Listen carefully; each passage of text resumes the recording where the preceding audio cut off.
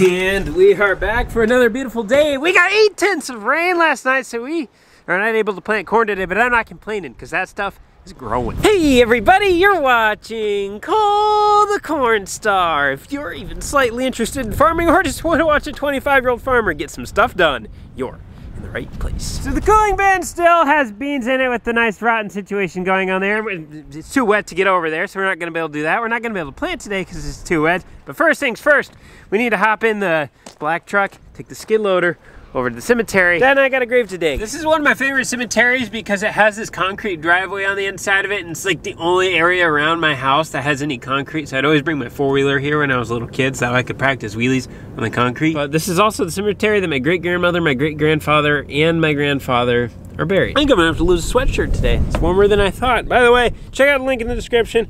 Pick out the new Corn Star Farm sweatshirts. These things are really cool. My absolute favorite ones, so links in the description. Dad said it was in the first or the second driveway. That's second driveway. This is the first driveway. We're just looking for a flag stuck in the ground.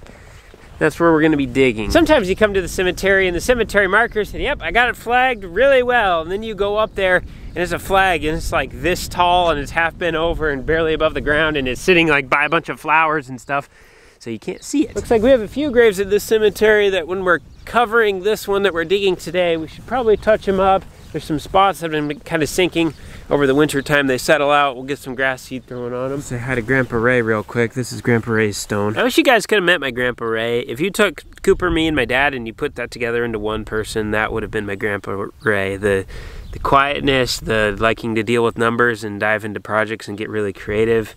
I got that side of him. The just the, the nice, kind gentleness of a human being.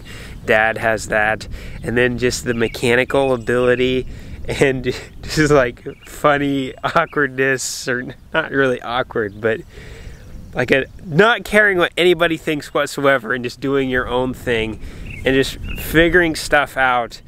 like that's Cooper.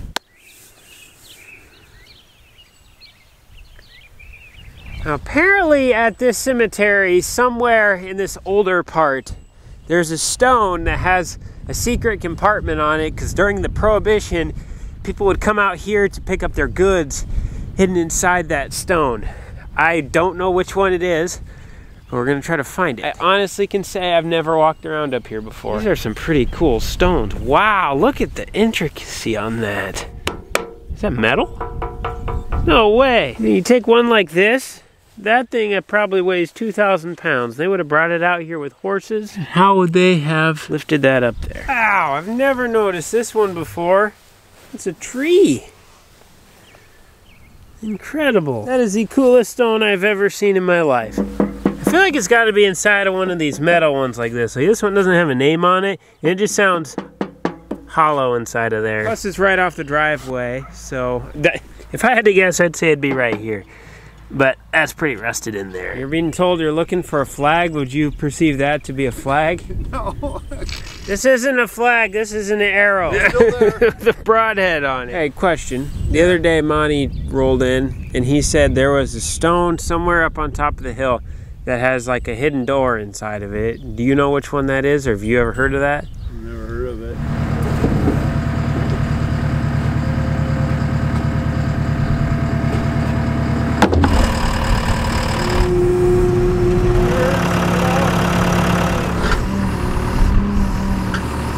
Just have to be careful not to veer that way. There's a vault right on the edge of the bucket on this side, and then there's another one right on the edge of the bucket of this side. Uh, we probably have less than an inch of clearance on both sides to get in here and dig, so it's going to be very tight.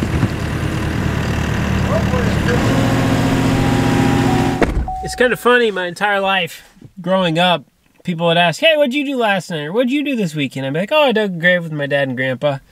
I never thought anything of it, because it's, it's a way of life for us. You know, we've dug graves literally my entire life. We've been digging graves, so since I was a little boy, you're out here helping dig graves, just normal. I just thought, yeah, everybody digs graves, you know? And then once I started getting older, then you started getting looks from people, and, and then you realized, oh, that's not that common, and they probably think I'm weird now. So I just told them not to mess with me because I dig graves for a living. You haven't had any problems yet. This one I accidentally broke the tail off a little bit, but the different ones I've they're about all like this. Make the most out of a rainy day. I ended up making some programs inside of the. I took a Google Maps picture, and then I'm labeling out all the areas of how all the different trials are going to go inside of the fields. So all the green areas are going to be like my full trial, and then all the spots that aren't green, those are going to be my controls, and then that's the whole plot behind the house and stuff. So it's going to be very interesting to see. This way we'll have an apples to apples comparison of everything going on here.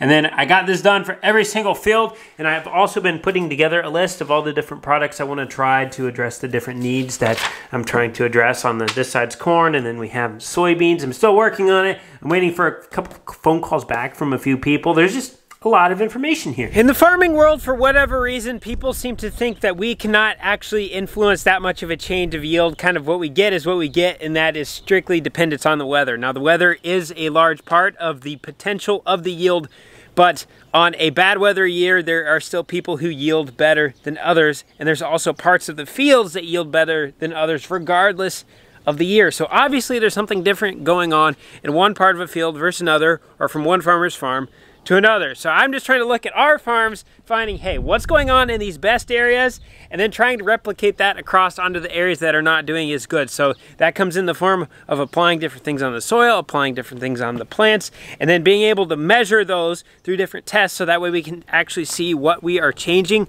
and what we're doing. And then we have a goal to strive for based off those high areas so we know where we need to be getting our finish line to. And then once we get there, then hopefully everything should be doing well. If it does, then we know we figured something out. If we can replicate it, we know we really figured something out.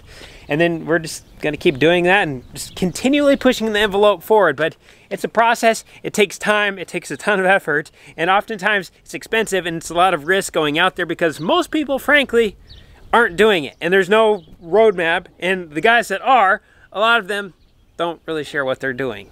So I guess that's the importance of finding a good group of people who share what they're doing to allow everybody to kind of navigate through minefields. But that can be challenging to find. So there's just a lot of pioneering you have to do. And also there's just a factor of, hey, sometimes you have to put in that work to just get a basic understanding of what's going on. And then get into the little specifics. And you take a thousand little specifics and put them into one, and all of a sudden that's one really big, giant specific that makes all the difference in the world. Welcome to farming. We ended up getting two shots of rain. One was about seven tenths of an inch, and the other one was about an inch. So we got some nice puddling action going on. Definitely too wet to be out in the field. They're talking dry for the next few days, which should let us get back out into the field. And we need to boogie and get that done because after those few days of dry, they're talking several days of rain. We would really like to get our corn in the ground by then, so that way we're not getting towards the later end of planting our corn or later than we'd like it to be planted. So while it's too wet today, we're gonna try to get a bunch of stuff lined together so that way once it is ready to go, we're not messing around with this rinky-dink stuff that just takes time. We can just get out in the planters and we can go. Ooh, I need to bring the lawnmower back here. And right there, wow, I'm getting tall. First up on that list, both of the sprayers right now have bean chemical inside of them and on them, and we do not want to put bean chemistry on corn chemistry. We're going to be spraying our corn next. Actually, the intercrop plot is going to have a different chemical on it than what's on a regular corn ground because it has corn and beans inside of it, so we have to spray a chemistry that corn can handle and soybeans can handle. So regardless, we need to get the sprayers cleaned out inside of tanks, inside of booms, outside of shells, get it all cleaned up. And then so once it dries up, we can just fill it up with that chemical and go. Oh, and washing the sprayer is the absolute most fun thing in the world to do, and you definitely don't get wet doing it. I don't know why the sprayer does this. You turn the key about 10 times and it goes.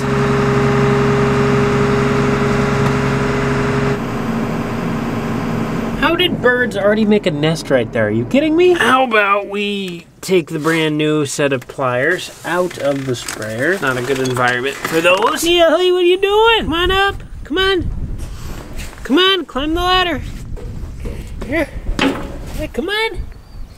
Come here.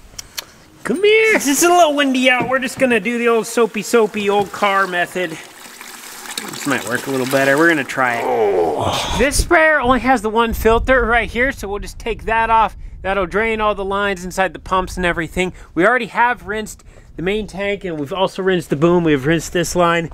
So really just cleaning out that filter, making sure everything's clean. If there is any residue up inside the pumps and stuff, we'll get that out of there. Our other one's got some inline filters right here. There's five of them, but this sprayer doesn't have it. Nothing too crazy on the filter, just a couple little bugs basically is what it looks like. We've had some nice heat, and wind's been blowing. I think the ground's gonna be dry enough. We're gonna go hop in the gator. We're gonna go finish mapping the fields that have not been mapped yet. And then hopefully later tonight, we'll be able to get this sprayer washed up. Oh, maybe while I park it here, Dad will wanna wash it for me. Out, wood, check for overhead lines. We are good, okay, out again. You ready for all the water to dump out of there? Look at that, gross. The left cylinders on this sprayer are starting to get pretty bad leaks inside of them, so if you let the boom sit for really any period of time at all, it settles out and it goes all the way to the bottom. So we need to make sure that it can lower all the way to the ground here without hitting anything. Otherwise, we're gonna come back with a boom on top of a car. Keys are in it when they come back, it better be washed, thanks. It will be. There's a pin here. I don't know what to do. Last time I greased it, had one that gave me trouble. This back one here. So I took the bolt out and everything to get it, you know, apart. And I finally got it take because they, you know, should spew grease out. Well, this one I couldn't get it to take last time, so I had I'll squirt oil in every so often. And you know, it, it, pumps in there and it's like, and it gets full. I took the zerk out now and you stick the screwdriver in there and, you know, there's oil, grease in there, but I can't, you know, it just locks up after a while. So I'm trying to figure out how to get that pin or whatever because it should spooey out of that one too. I know, I've always had a hard time with that particular one as well.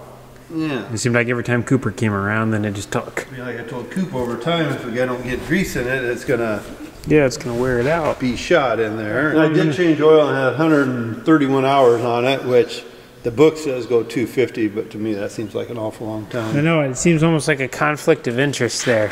When they tell you to go that long and they also want you to buy new machines. To me, at 150 hours or something's probably plenty on it. It's a three and a half gallon tank on it. I suppose it depends what you're doing with it, but you know, for like us. Sure. Don't forget, don't scratch the paint. Whee! I guess might as well start with the field around the house. Never mind, never mind, never mind. What's that? So when I pulled out to the end of the driveway, just about ready to start outlining the field around Dad's house, I decided to pop onto the GPS information and I look at my receiver, I see RTK unlocked. So we are on RTK. And then I went up into this and I was looking at my receiver, my GPS 7500, and it was on that WAAS. I'm like, wait a second, let's go to TerraStar X, which is RTK. And then a thing pops up saying my TerraStar X subscription has expired. So that means the first time I did this, I was on WAAS. I redid our fields again, besides five of them, and I thought I was on RTK, but I was on WAAS. now I gotta get my RTK subscription renewed, and then we have to redo everything again okay, we just got a hold of Pete Youngblood. Look at that. We're running TerraStar X. That is RTK. 1.1 inch accuracy. Okay, let's do this again. Oh, the old painful part. Bye-bye field. Start a new one. Hanson Farms all done. This thing is going to be a thing of beauty because all we got to do is outline it once on the main part and then uh, back and forth on each end. Then we can literally plant from this gravel road right over there all the way to the other gravel road, east and west, back and forth through the entire thing. That is going to be so nice. Before, that was its own part up there. The middle was its own part. That was its own part. That was kind of its own part. This was its own part. So basically, you had like five fields in one. Now it's one field in one. Next up, we got the Bush Farm. Oh, it's always so painful. Cooper's cutting some metal, making a thing for our post hole digger here. We have a thing that'll go on the skid loader that'll go around and around and we can take bob wire off of fences, stick it in there, turn on the post hole digger and it will wind it up. And then when they want to take it apart, somehow this comes apart.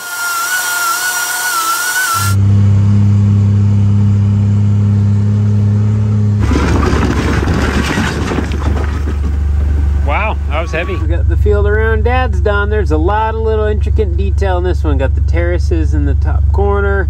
And then that's new waterway right there. That little piece also is new.